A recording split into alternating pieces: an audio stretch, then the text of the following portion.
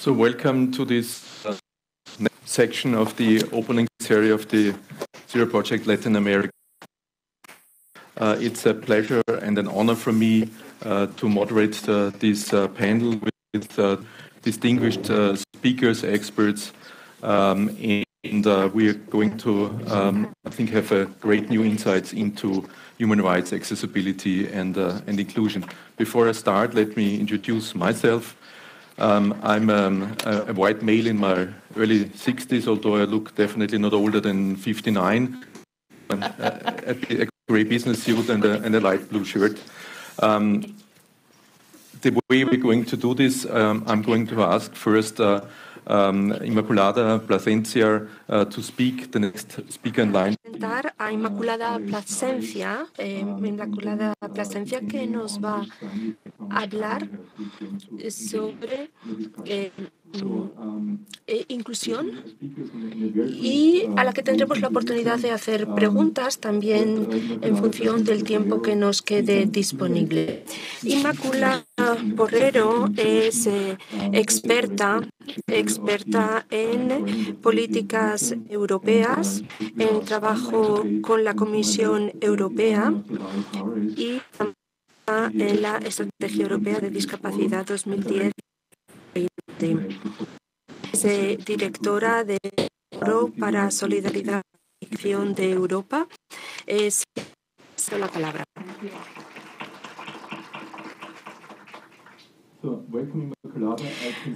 Bienvenida, Inmaculada. Hola Inmaculada, ¿nos eh, puedes ver? ¿Nos puedes escuchar? Sí, te escuchamos perfectamente, Inmaculada. Te cedo la palabra. Adelante. Eh, muchas gracias, Michael. Muchas gracias eh, por la invitación. Muchas, muchas gracias para la accesibilidad.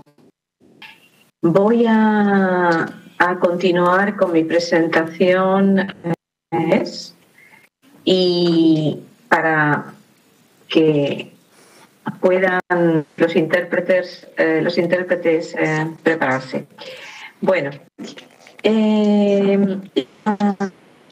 la Comisión Europea lleva muchos años trabajando en, en la mejora de la accesibilidad.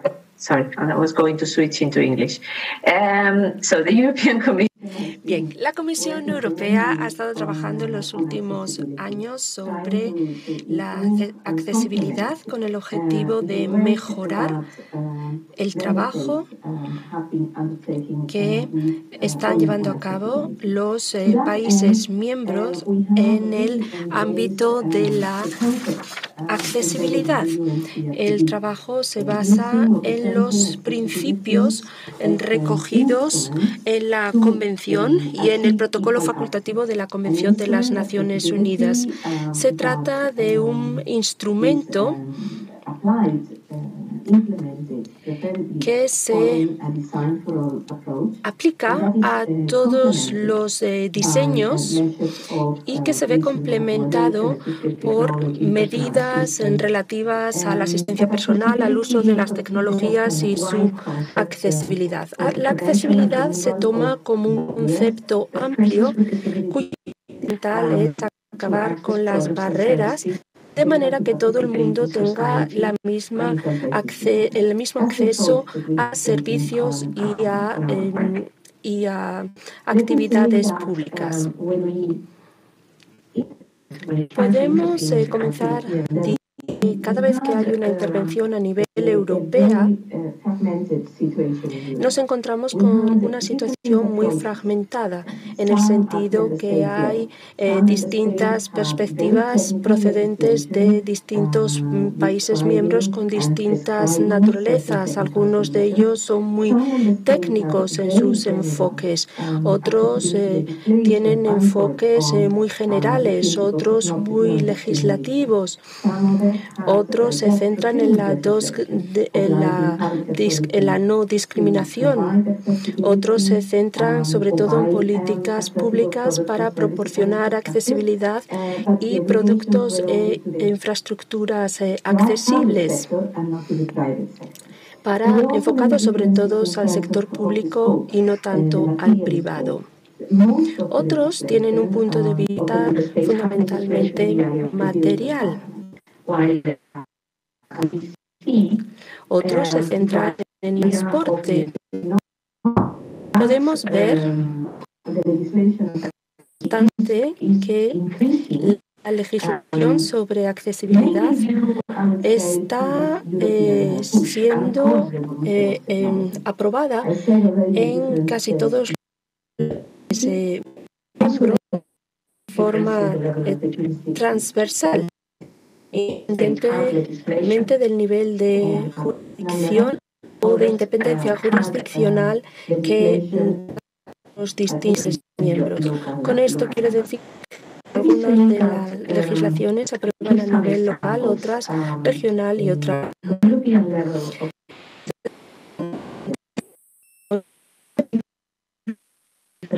en, en, Europa, en las que se, que se refieren a distintas áreas temáticas. Por ejemplo, en el campo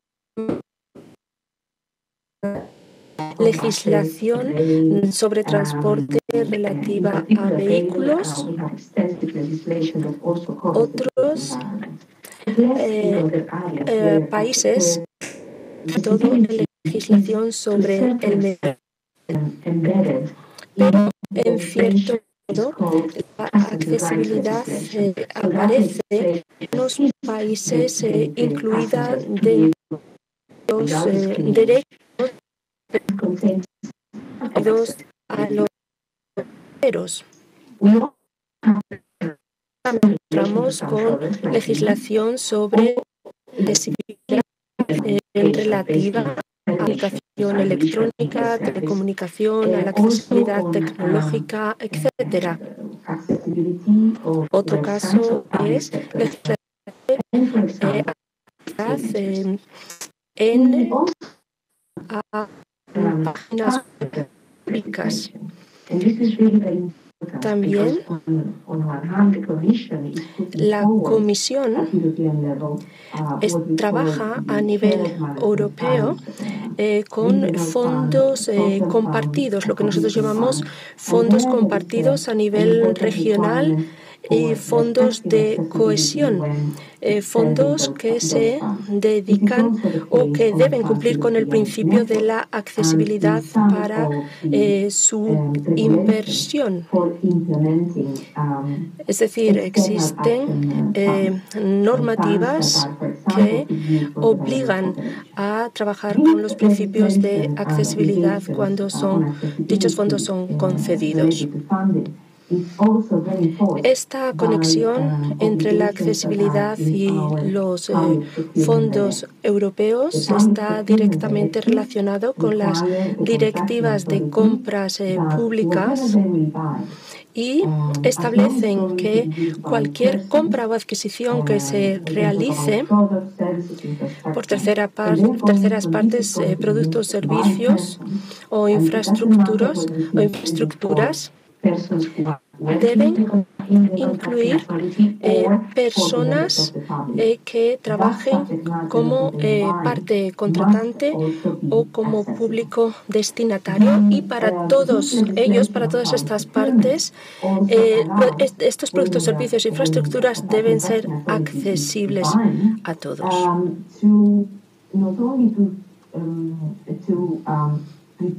El objetivo de todo ello es que se eh, ofrezca un nivel mínimo de accesibilidad que permita comprar el producto o la infraestructura, pero también eh, proporcionar o dar prioridad a aquellos mm, productos o infraestructuras que sean en sí mismos más eh, accesibles.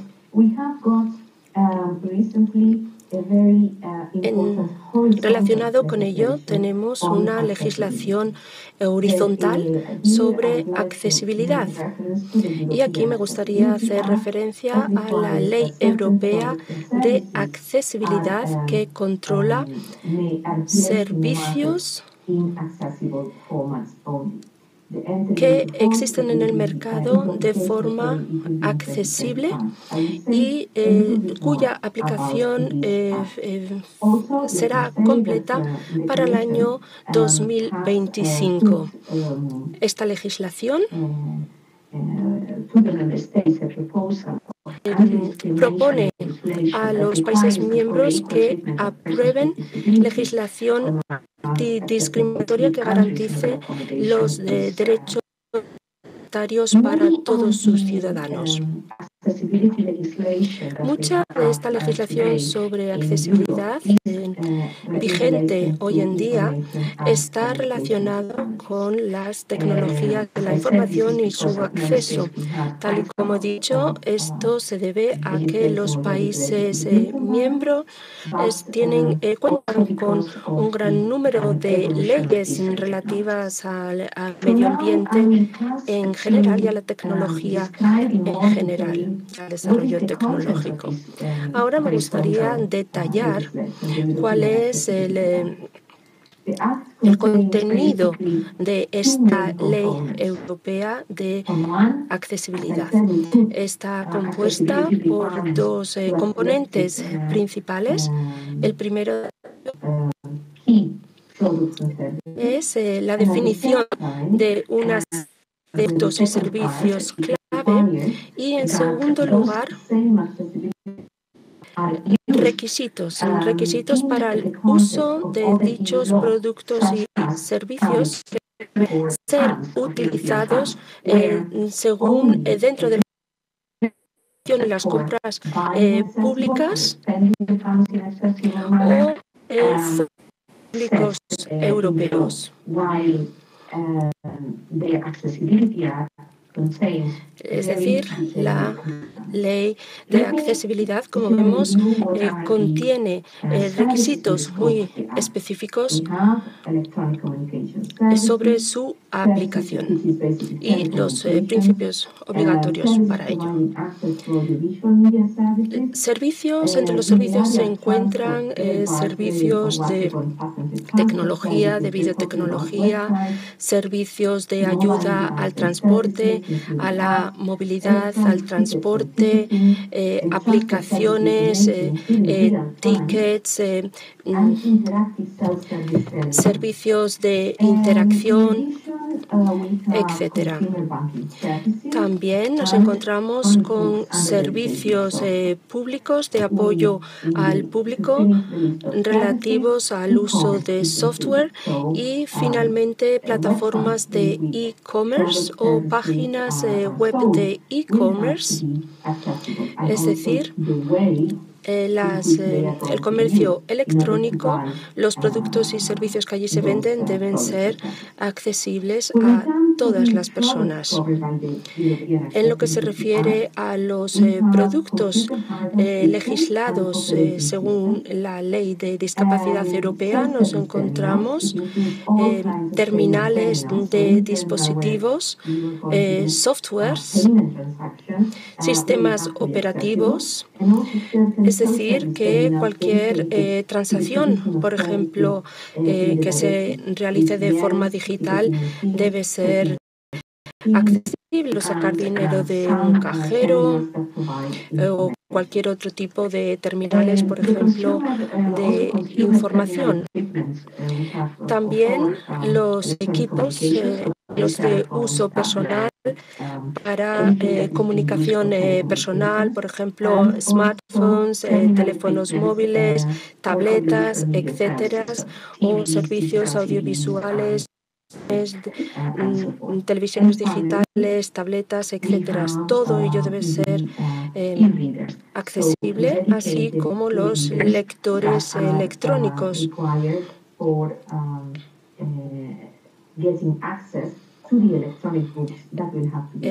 lectores electrónicos que darán acceso a lectura electrónicas en dispositivos accesibles. Esta eh, ley también obliga a, los, eh, a las empresas de telecomunicación a hacer que el número de emergencias eh, sea em, accesible como la respuesta por parte de los eh, de manera que se está cerrando el ciclo desde el producto dispositivo que utiliza la persona con discapacidad la respuesta que, a la respuesta que recibe. La ley de accesibilidad eh, también establece requisitos relativos al medio ambiente en virtud de los cuales eh, ciertos eh, espacios eh, deben ser a todo el mundo en virtud de legislaciones europeas o nacionales. Se trata de un muy de las últimas décadas eh, que tiene que garantizar que solamente productos y servicios accesibles, mejor dicho, sean, eh, estén a disposición en los mercados europeos y circulen en el mercado europeo. Facilitar la puesta en práctica de estos requisitos de accesibilidad en este momento estamos desarrollando Spandex. Spandex es un, eh, es un eh, mecanismo, es un estándar que garantiza el cumplimiento de estos eh, requisitos, de estos estándares. Estamos trabajando en cooperación con la Asociación Europea de Estandarización para aprobar eh, ciertos estándares eh, presentes ahora mismo en Europa, nuevos estándares. Estos estándares relativos a la accesibilidad a las, a las tecnologías de comunicación e información son los siguientes. Trabajamos en función de la, de la ISO y aplicamos estos estándares deben ser aplicables a los eh, a las acciones 107 y también hemos elaborado un mandato número 403 que solicita que las organizaciones deben desarrollar sus propios estándares para que independientemente de lo que produzcan o ofrezcan productos o servicios sean, eh, accesibles. Estamos hablando de un estándar nuevo dentro del en contexto de la nueva legislación, la legislación europea sobre discapacidad. Además, eh, contamos con eh, los estándares que regulan la accesibilidad a los números de emergencia, estándares para acceder a la información no digital y estándares para acceder a los servicios de eh, soporte y apoyo y servicios de soporte. Es decir, que cuando se creen estos servicios de apoyo de soporte sean accesibles.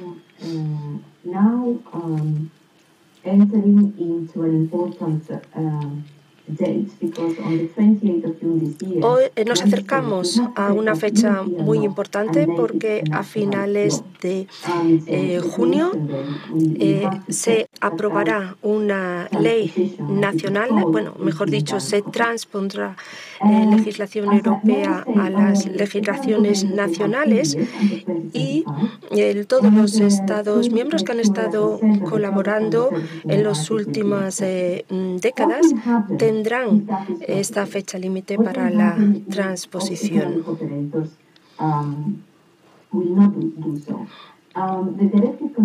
La directiva algunas disposiciones de obligado cumplimiento. Comienza con una serie de medidas eh, eh, suaves, por decirlo así, en las que se les pide a los cooperadores económicos que cooperen y que cumplan con la, directiva. Eh, de este modo, em, asumen la responsabilidad de su cumplimiento.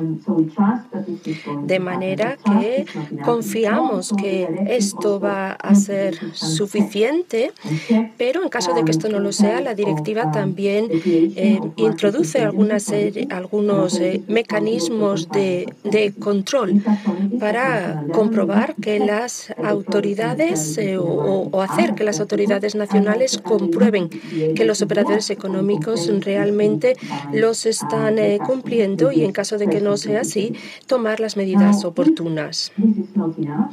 En caso de que esto no sea suficiente, tanto los consumidores como las asociaciones públicas o privadas o bien ONGs pueden eh, presentar demandas judiciales para que se aplique la directiva y eh, se pueden eh, aplicar sanciones judiciales en caso de incumplimiento. El objetivo es que el producto o el servicio sea accesible a todo el mundo y en caso de que esto no sea así, se tomen medidas correctivas. Me gustaría finalizar mi presentación hablándoles sobre otras eh, medidas que también están vigentes. una de ellas procede de una eh, iniciativa aprobada hace 10 años durante la presidencia española de la Unión Europea y se refiere a la accesibilidad, eh, a la accesibilidad y a un eh, reconocimiento, a un premio creado entonces y que consiste en una recompensa económica y que se concede a aquellas asociaciones o ciudades que han eh, realizado trabajos destacados en favor de la accesibilidad. Finalizaré diciendo que los esfuerzos que se están realizando a nivel europeo están eh, más o menos en, en, un estado de finalización y por lo tanto a continuación nos vamos a centrar en la implementación, en la aplicación y en el apoyo a dicha aplicación. En este sentido, el año pasado se adoptó una estrategia Uh, indicated that the Commission is going to be working. Okay. Mm, señalaba que la eh, Comisión Europea va a trabajar en favor de la creación de un centro de recursos cuyo objetivo es facilitar la aplicación, proporcionar apoyo a las partes interesadas y proporcionar una armonización en la aplicación en todos los Estados miembros. Este, desde este centro de recursos se van a crear una serie de prácticas conjuntas, va a unar a expertos de distintos países y va a crear y generar em, conocimiento mediante la investigación y la, y la eh, generación del mismo, así como mediante la monitorización y el seguimiento del cumplimiento. A final de año vamos a poder ofrecer eh, más resultados del trabajo mm, que se llevará a cabo desde este centro de recursos. Eh, de nuevo, muchas gracias a Michael y ahora le cedo la palabra para que continúe en su labor como moderador.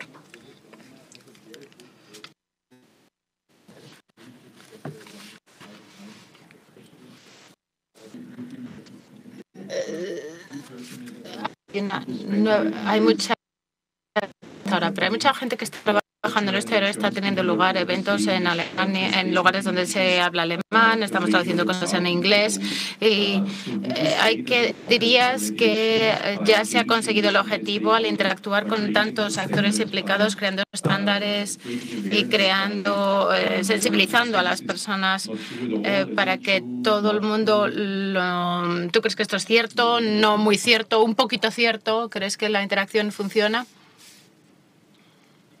Eh, creo que no funciona suficientemente eh, todavía para asegurarnos la puesta en práctica y la implementación de la accesibilidad. Eh, está claro que hay en Europa eh, unos muy buenos expertos, gente muy dedicada, eh, organizaciones eh, punteras en términos de accesibilidad y de estándares. Pero mm, tenemos un gap, tenemos una brecha que tenemos que cerrar. no todo el mundo que tendría que estar implementando la accesibilidad, por ejemplo, las autoridades públicas, no todos los que eh, compran eh, productos y servicios saben o tienen el conocimiento necesario para comprar accesible, por ejemplo. No todas las industrias que mm, van a tener que poner sus productos y servicios en el mercado eh, van a estar afectadas por la, la legislación, saben y tienen el personal formado para hacer esto una realidad todavía. Tenemos todavía tres años y creo que tenemos que continuar eh, trabajando en, el tema para que esto sea una realidad.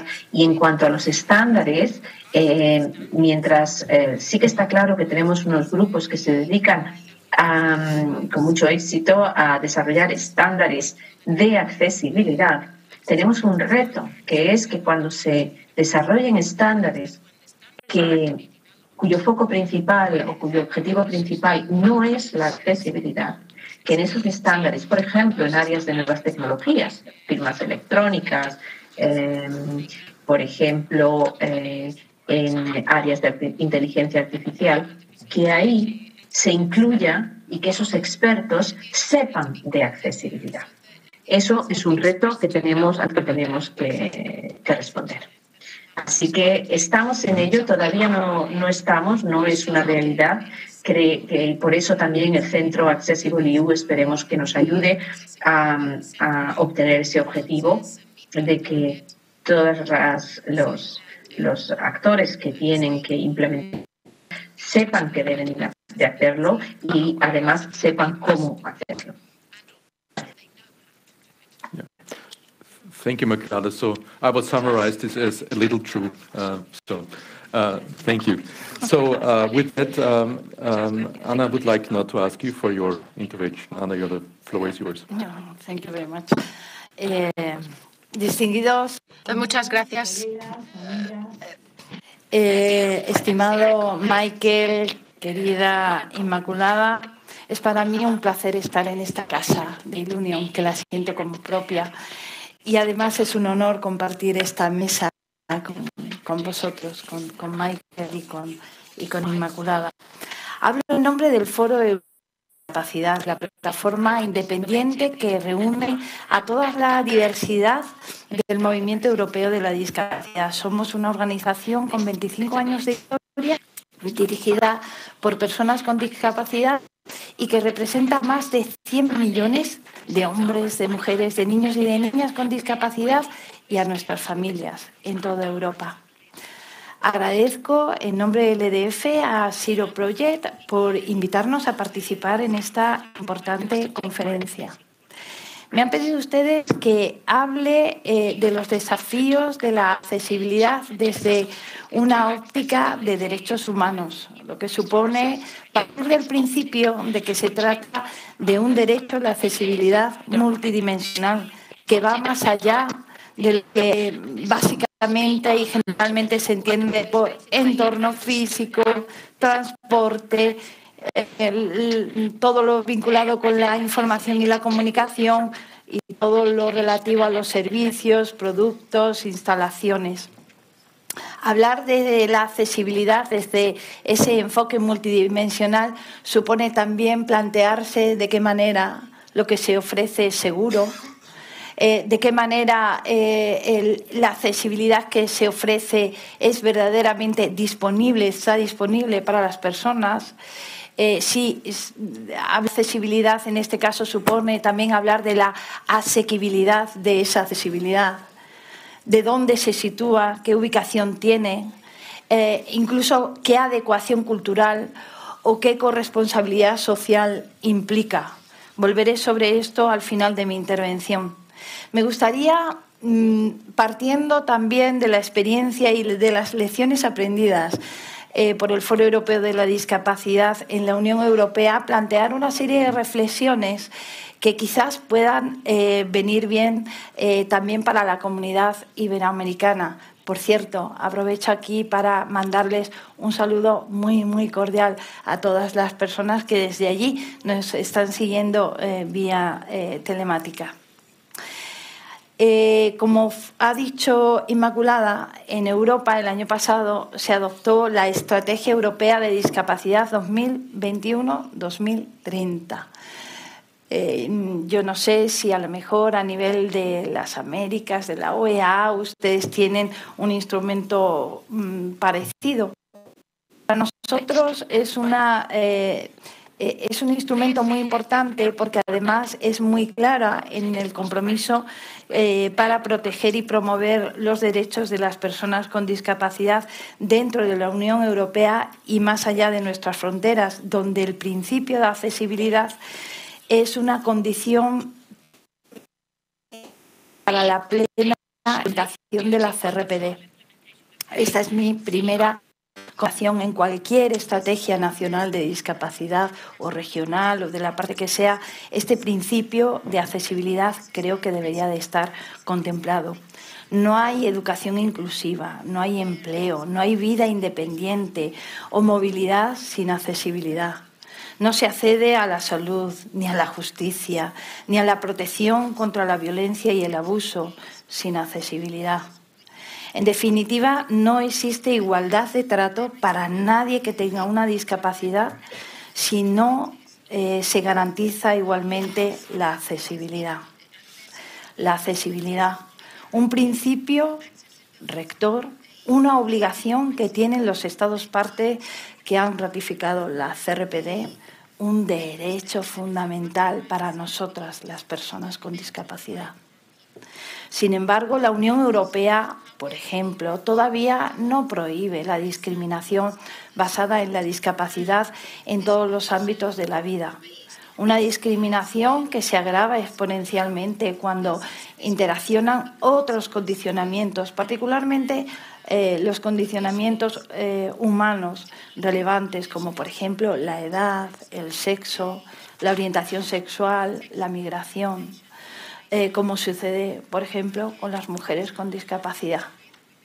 ¿Tiene la accesibilidad presente esta diversidad humana?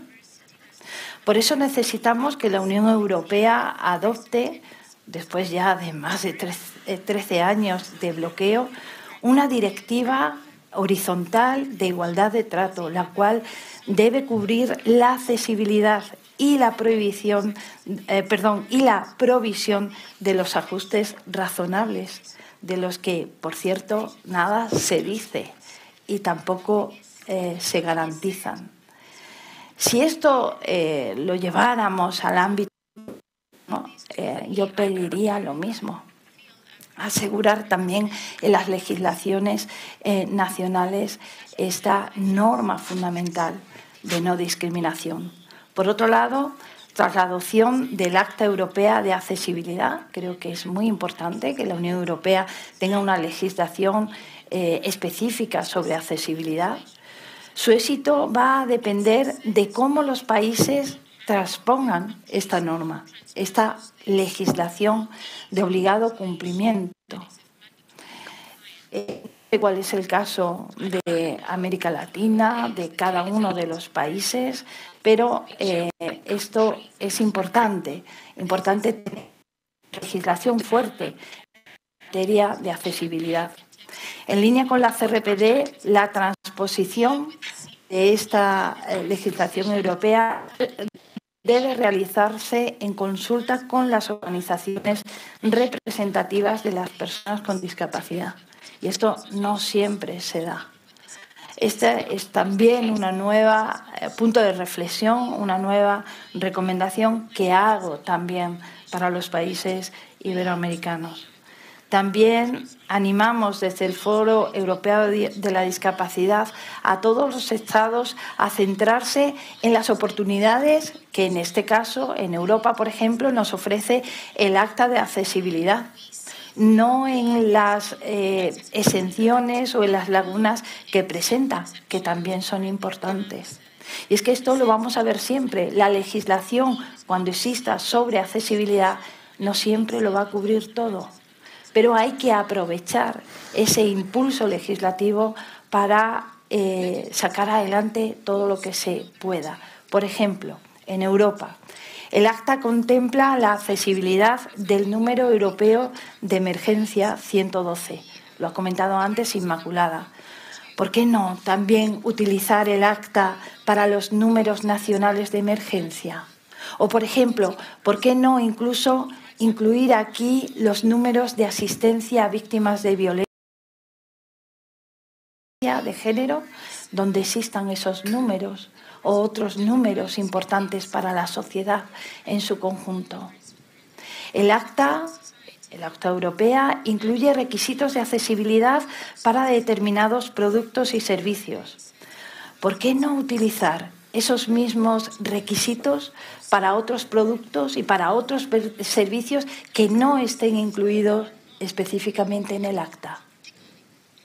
El acta también establece ríos para el entorno construido, ¿Por qué no aprovechar esta oportunidad para actualizar las disposiciones nacionales para edificios o estaciones de transporte, por ejemplo? ¿Por qué no establecer también requisitos de accesibilidad para los servicios de transporte urbano, de transporte, por ejemplo, en el medio rural? En estos momentos la Unión Europea está discutiendo otras legislaciones importantes como la ley de servicios digitales, la ley de mercados digitales y la ley de inteligencia artificial. Será un gran error y una oportunidad perdida si estas legislaciones no incluyen los mismos requisitos establecidos en el acta de accesibilidad.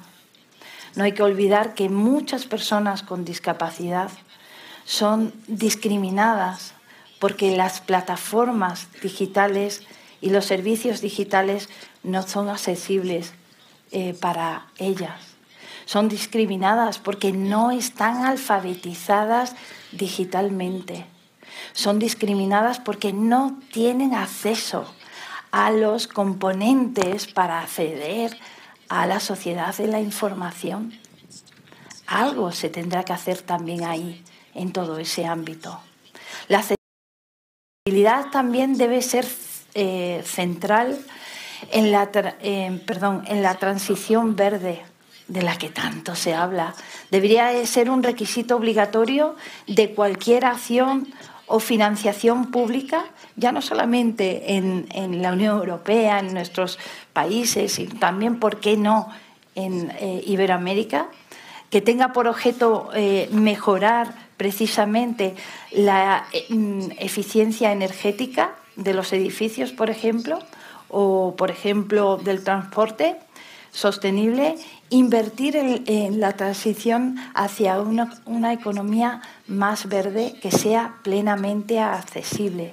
Esto supondría, por ejemplo, mejorar la accesibilidad en el reglamento de la red de transporte eh, de la Unión Europea o, por ejemplo, en el reglamento del transporte ferroviario. ¿Por qué no se piensa en eso? ¿Por qué no se utiliza también todos esos esfuerzos de la transición verde para mejorar la accesibilidad? Solo podemos asegurar que no dejamos a nadie atrás si garantizamos, entre otras cosas, que todos los edificios nuevos o, por ejemplo, eh, restaurados y que todos los autobuses de nuestras ciudades sean plenamente accesibles. De lo contrario, enfrentaremos costos aún más altos en los próximos años para adaptarnos a las nuevas necesidades de una sociedad que envejece cada día. Desde el EDF damos la bienvenida a la creación del Centro de Recursos eh, Accessible EU, mm, específico eh, que realmente puede ser un buen punto de partida para coordinar la acción en materia de accesibilidad de todos los estados de la Unión Europea. Y animamos quizás también a la comunidad iberoamericana a que eh, tome en consideración esta posibilidad. Pero ese centro tiene que estar dotado adecuadamente y además las propias personas con discapacidad tienen que poder participar eh, como consultores de esos avances en materia de accesibilidad. También acogemos con satisfacción la tarjeta europea de discapacidad. Yo no sé si en América Latina, en la comunidad de la OEA o si en los estados iberoamericanos existe algo parecido. En Europa existe. Sin embargo, esta tarjeta debe tener una base legal más sólida en todos los países de la Unión Europea y su alcance debe ir más allá de lo que ahora mismo contempla, que es la cultura. Si tienes que ir a un museo te permiten entrar con un acompañante en, el país que sea, el ocio, el deporte. El transporte, por ejemplo, no se incluye y debería de estar considerado directamente por defecto. Si yo tengo derecho, a lo mejor porque tengo una discapacidad severa, ir acompañado en transporte público por otra persona que no va a pagar, eso eh, no le cuesta nada al Estado. ¿Por qué no lo reconoce la tarjeta? La mayoría de las personas con discapacidad en Europa no pueden moverse, no pueden mudarse de uno a otro país. Y me imagino que sucede lo mismo en América Latina ni siquiera para trabajar o para estudiar, debido a la falta de reconocimiento de su condición de discapacidad. Necesitamos que esa tarjeta europea de discapacidad garantice el reconocimiento mutuo de la discapacidad en todos los países de nuestra región, en igualdad de condiciones con los demás ciudadanos y ciudadanas, porque esa tarjeta y ese reconocimiento de la discapacidad nos daría acceso a medidas de apoyo, de accesibilidad, si queremos estudiar, si queremos trabajar. El principio de accesibilidad y movilidad también debería estar muy presentes en las discusiones sobre la educación inclusiva y sobre el empleo. De hecho, en Europa existen eh, eh, fondos propios, el Fondo Social Europeo eh, y el Mecanismo de Recuperación y Resiliencia eh, después de la pandemia, que debería cubrir, por ejemplo, la contratación y la capacitación de asistentes de aula para ofrecer apoyo personalizado a los estudiantes con discapacidad que lo necesiten. ¿Se ha pensado en las personas con discapacidad en los fondos eh, que han surgido a partir de la pandemia? ¿Se ha pensado cómo se pueden utilizar para mejorar eh, la accesibilidad y, por tanto, el ejercicio de los derechos de estas personas en toda nuestra comunidad. Del mismo modo, el paquete de empleo de la Unión Europea debería centrarse en el acceso al mercado laboral abierto de las personas con discapacidad, así como para abordar la mayor discriminación laboral y la brecha salarial que enfrentan particularmente las mujeres con discapacidad. Precisamente hablando de mujeres, desde el Foro Europeo de la Discapacidad acogemos una propuesta presentada por la Comisión Europea recientemente de una directiva sobre la violencia contra las mujeres y la violencia doméstica.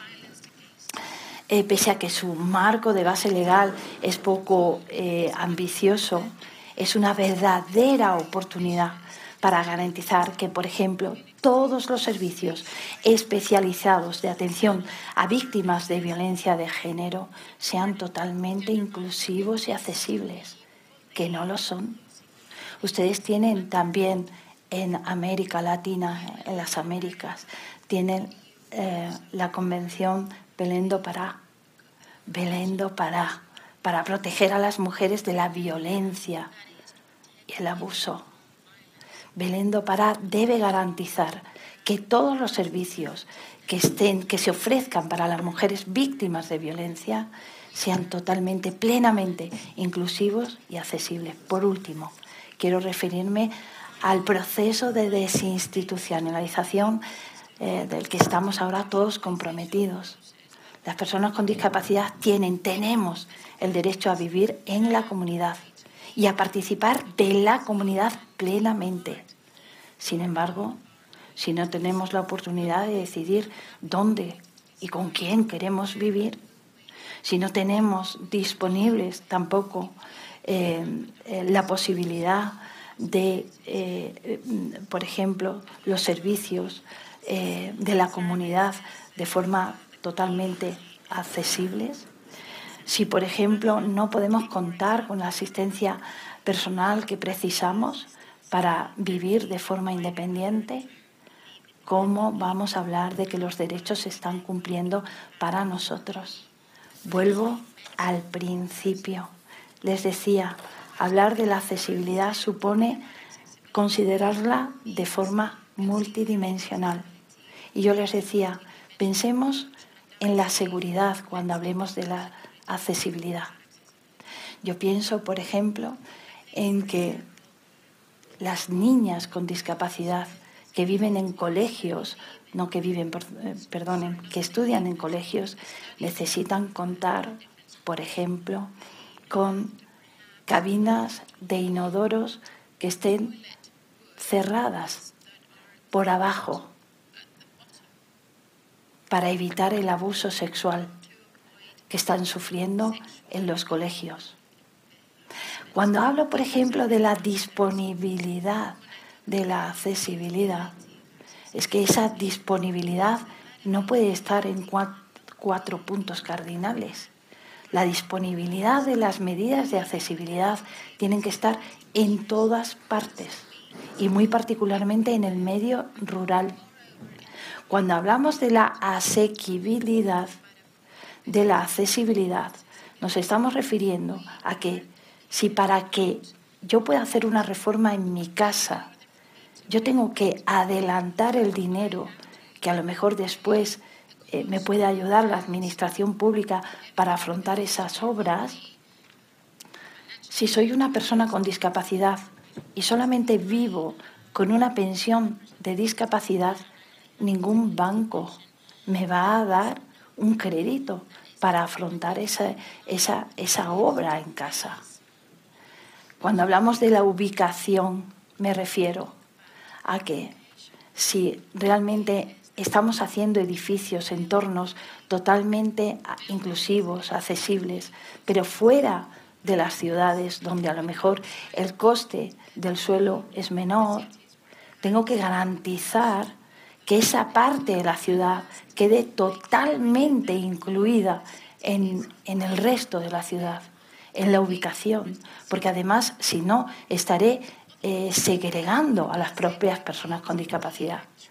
Si estoy hablando de accesibilidad, también tengo que pensar en la adecuación cultural o, por ejemplo, en la corresponsabilidad de la decisión. En España llevamos mucho tiempo trabajando por conseguir eh, eh, lo que es la regulación de la propiedad horizontal. Tenemos miles de personas encerradas, aprisionadas en sus domicilios porque están en un primer piso y no hay ascensor, en un segundo, en un tercero, en un cuarto. y no pueden salir de sus casas. Tiene que haber un compromiso, una corresponsabilidad social y, desde luego, una obligación por parte de los Estados de regular precisamente la propiedad horizontal. Termino diciendo, la accesibilidad es fundamental para el ejercicio de los derechos humanos y libertades fundamentales. La accesibilidad tiene que estar presente en el apoyo a la toma de decisiones de las personas con discapacidad. Es algo fundamental. Estamos haciendo avanzar nuestras legislaciones para que la igualdad ante la ley se reconozca para todas las personas con discapacidad sin excepción. Pero hemos empezado a hablar ahora del apoyo a la toma de decisiones. Ese apoyo a la toma de decisiones tiene que ser plenamente accesible y basado en las necesidades individuales de la persona. Por eso la importancia de reconocer y comprometer también a los Estados en la provisión de ajustes razonables cuando sea necesario. Nada para nosotros, sin nosotros. Es el lema fundamental que debe de guiar esta transformación de la consideración de la accesibilidad. Muchísimas gracias.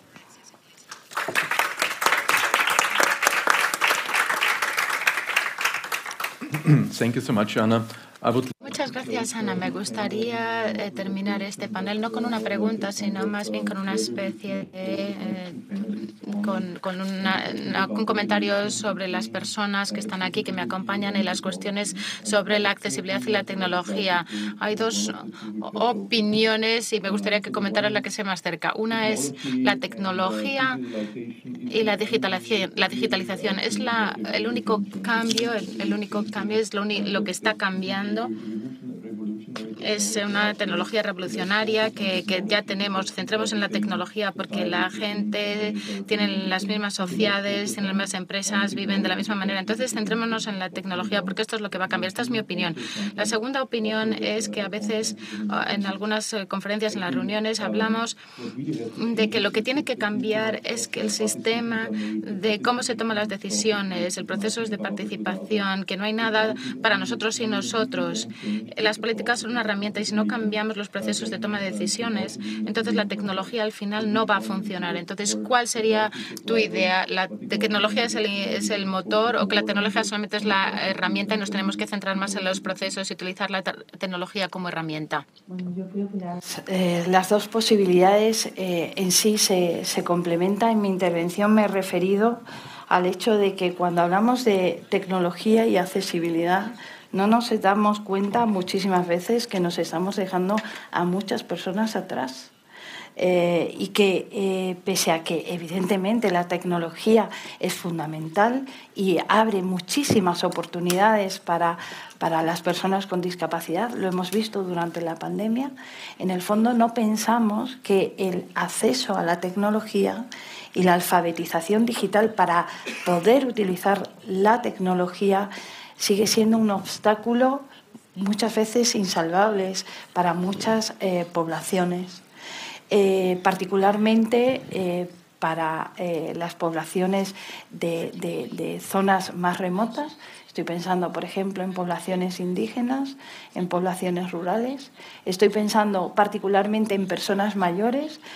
piensen ustedes que, por ejemplo, en nuestro país la inmensa mayoría de las personas con discapacidad tienen más de 60 años y esto sucede también en la Unión Europea y que gran parte de esa población no es pobre y además no tiene la posibilidad de acceder a la tecnología.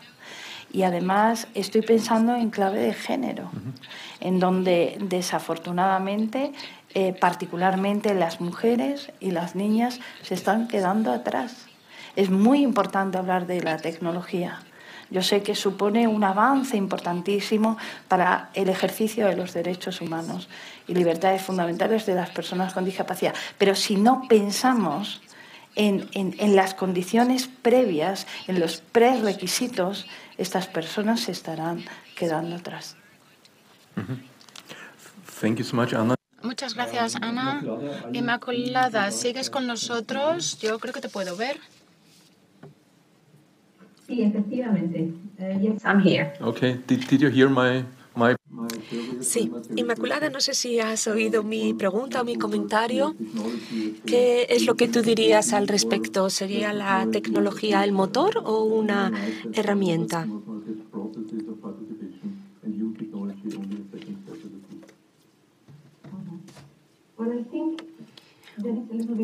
Bueno, yo creo que un poco de todo en el sentido que la tecnología se puede utilizar para facilitar la accesibilidad y la inclusión, pero también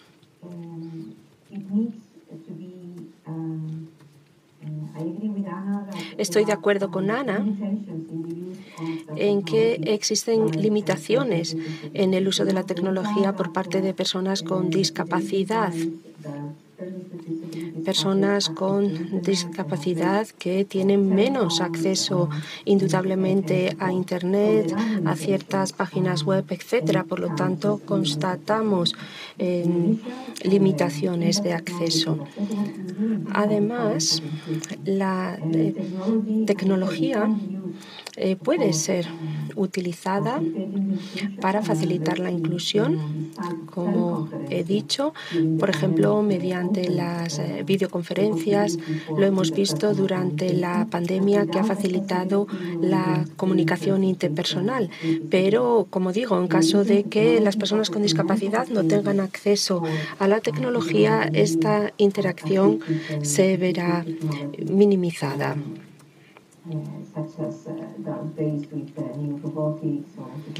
Entonces, nuevas tecnologías como la robótica, la inteligencia artificial están ahí, están en desarrollo, pero deben ser desarrolladas con atención para que eh, lleguen a todo el mundo, para que faciliten la accesibilidad a las personas con discapacidad. Muchísimas gracias, Inmaculada, por eh, tu intervención.